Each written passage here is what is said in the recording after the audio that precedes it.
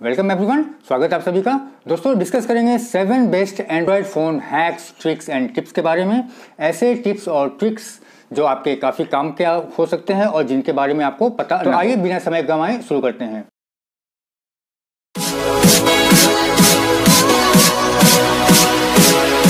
Trick number one floating keyboard जब भी हम कोई मैसेज या व्हाट्सएप मैसेज या एसएमएस या फिर ईमेल टाइप करते हैं तो हमारा जो डिफ़ॉल्ट कीबोर्ड है, वो कुछ इस तरह से फिक्स रहता है। यहाँ मैं दिखाता हूँ आपको। यहाँ देखिए, ये कुछ इस तरह से हमारा कीबोर्ड फिक्स रहता है। लेकिन क्या आप जानते हैं कि इस कीबोर्ड को हम कुछ इस तरह से फ्लोट भी करवा सकते हैं। इन्हें, इनका साइज़ भी छोटा बड़ा कर सकते हैं, कुछ इस तरह से। इस तरह से इनका फ्लोट करा सकते हैं, इनका साइज़ बड़ा छोटा कर सकते हैं। तो आइए जानते हैं ऐसा हम कैसे कर सकते हैं। तो इसके लिए सबसे पहले आपको अपने प्ले स्टोर में जाना है और वहाँ टाइप करना है Gboard G B O A R D Gboard ये गूगल का ही कीबोर्ड है और इसे आपको इंस्टॉल कर लेना है। और इंस्टॉल करने के बाद सेटिंग्स में जाकर इसे अपना डिफ़ॉल्ट कीबोर्ड सेट कर दीजिए। उसके बाद जब भी आप आपको कोई एसएमएस या व्हाट्सएप मैसेज या फिर ईमेल टाइप करना हो तो आप उसे एप्लीकेशन को ओपन कीजिए और यहाँ पर आपको नज़र आएगा ये तीन डॉट्स और यहाँ नीचे कुछ आपको ऑप्शंस नज़र आएँगे theme clipboard text editing share control one handed और फ्लोटिंग आप इस फ्लोटिंग वाले पे क्लिक कीजिए। तो अब ये देखिए इसका डिज़ाइन कुछ इस तरह का हो गया है और अब आप इसे कहीं भी स्क्रीन पे इस तरह से फ्लोट करवा सकते हैं। इतना ही नहीं, आप इस कीबोर्ड का साइज़ भी कुछ इस तरह से चेंज कर सकते हैं। इसके अलावा आप और भी बहुत कुछ कर सकते हैं, जैसे कि आप थीम चेंज कर सकते हैं, यानी कि इस कीबोर्ड का कलर चेंज कर सकते हैं। इस तरह का कलर या फिर इस तरह का कलर या फिर इस तरह का कलर या फिर इस तरह का कलर इस तरह से अलग अलग कलर्स आप सेट कर सकते हैं। इसके अलावा और भी कई सारे ऑप्शन है। इस थ्री डॉट पर क्लिक कीजिए। यहाँ पे आपको कुछ ऑप्शन नज़र आएँगे। वन हैंडेड जब आप इस वन हैंडेड में क्लिक करेंगे तो ये कीबोर्ड का डिज़ाइन कुछ इस तरह का हो जाएगा, जिससे कि आपको इसे वन हैंडेड यूज़ करने में काफ़ी आसानी होगी। नाउ अगला जो टिप्स एंड ट्रिक्स है, वो है व्हाट्सएप से रिलेटेड जब भी हम व्हाट्सएप किसी से करते हैं तो पहले हम व्हाट्सएप एप्लीकेशन को खोलते हैं और उसके बाद जिससे भी हमें चैट करना हो, चाहे वो इंडिविजुअल चैट हो या फिर ग्रुप चैट हो, उस चैट में हम क्लिक करके फिर उसे ओपन करते हैं और फिर हम वहाँ पे चैटिंग करते हैं। लेकिन क्या आप जानते हैं कि आप इस चैट्स को शॉर्टकट्स को अपने होम स्क्रीन पर भी लगा सकते हैं। उसके लिए आप अपना व्हाट्सएप खोलिए।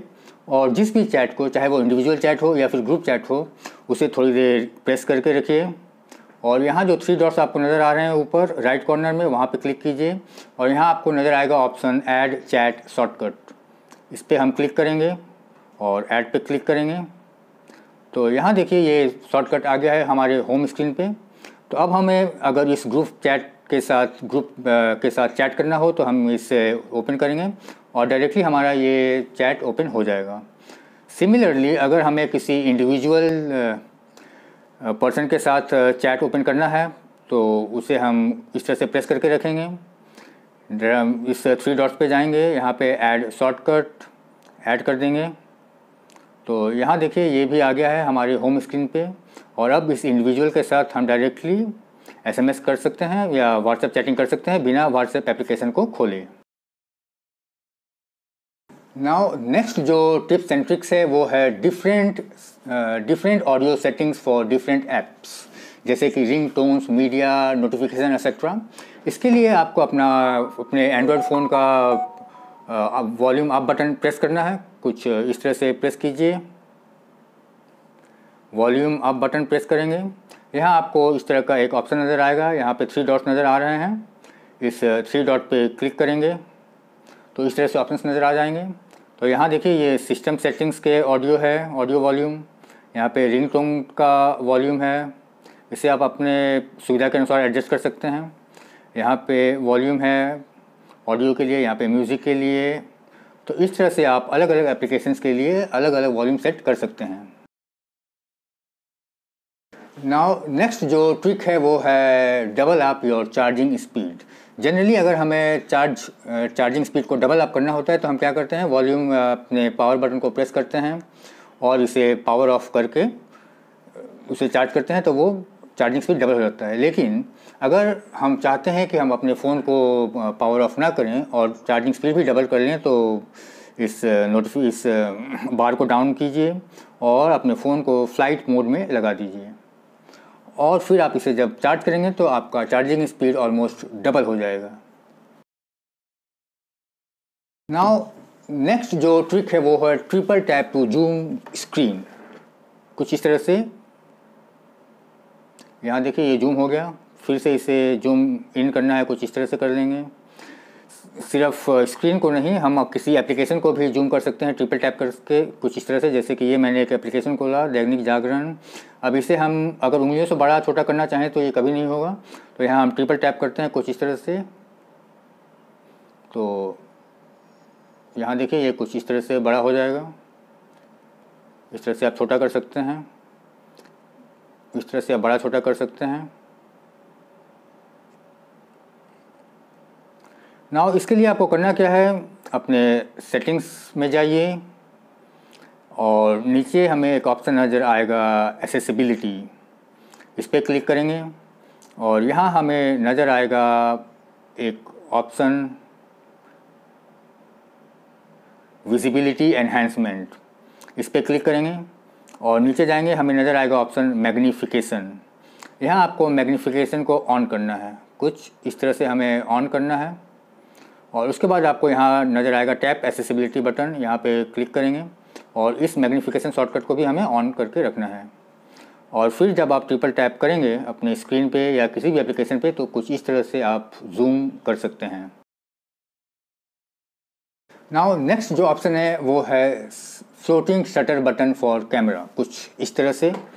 ये मैंने अपना कैमरा खोल दिया और यहाँ आप देख सकते हैं दो शटर बटन नज़र आ रहे हैं। यहाँ मैं एक कुछ ऑब्जेक्ट रख लेता हूँ।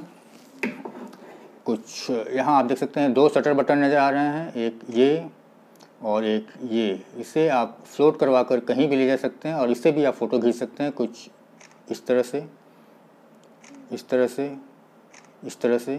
ना इसके लिए आप अपना कैमरा ओपन कीजिए सेटिंग्स में जाइए। नीचे जाएँगे तो हमें ऑप्शन नज़र आएगा शूटिंग मेथड्स और यहाँ आपको कई सारे ऑप्शन नज़र आएँगे और एक जो ऑप्शन नज़र आएगा वो है फ्लोटिंग शटर बटन अभी ये मेरा ऑन है तो इसे मैं ऑफ़ कर देता हूँ। तो देखिए, ये यहाँ से गायब हो गया है, यहाँ मेरा कैमरा है और यहाँ से ये फ्लोटिंग शटर बटन गायब हो गया है। अब अगर मुझे इसे लाना है तो यहाँ हम सेटिंग्स में जाएँगे और फिर यहाँ नीचे जाएँगे shooting methods floating shutter button इसे हम ऑन कर लेते हैं। और अब जब हम देखेंगे तो यहाँ देखिए ये शटर बटन आ गया है। और इससे हम कुछ इस तरह से तस्वीरें ले सकते हैं। इसे हम यहाँ कर सकते हैं, इससे भी तस्वीरें ले सकते हैं। नाउ नेक्स्ट जो ट्रिक है वो है ऑफलाइन गूगल मैप्स कई बार हम ऐसी जगहों पे होते हैं जहाँ इंटरनेट का एक्सेस नहीं होता है और हमें गूगल मैप्स एक्सेस करने की ज़रूरत पड़ती है। तो इसके लिए हमें क्या करना है कि हम अपना गूगल मैप्स ओपन करेंगे। और अपने profile right hand top corner पे आपको आपका प्रोफ़ाइल नज़र आएगा, वहाँ क्लिक कीजिए। यहाँ देखिए मेनू में आपको नज़र आएगा ऑफलाइन मैप इस पर क्लिक करेंगे। यहाँ पे एक मैप मैंने डाउनलोड करके रखा है, ये यहाँ पे इस तरह से मैप है। बैक जाते हैं सेलेक्ट योर ओन मैप यहाँ पे आप अपना मैप सेलेक्ट कर सकते हैं। जिस भी एरिया का मैप आपको डाउनलोड करना है, वहाँ जाइए। जैसे कि मैं यहाँ पे जाता हूँ सपोज़ लखनऊ। इसे ज़रा सा जूम कर लेते हैं। और फिर इसे हम यहाँ से डाउनलोड कर लेंगे। और एक बार डाउनलोड होने के बाद फिर आप इसे ऑफलाइन कहीं भी, कभी भी एक्सेस कर सकते हैं। तो दोस्तों, ये था seven useful android phone hacks tricks and tips आशा करता हूँ आपको इनमें से कुछ ना कुछ ट्रिक्स पसंद आया होगा। अगर आपको ये वीडियो पसंद आया तो इसे लाइक और शेयर करें और इस तरह के और वीडियोस देखने के लिए मेरे चैनल को सब्सक्राइब करना ना भूलें। नमस्कार एंड कीप लर्निंग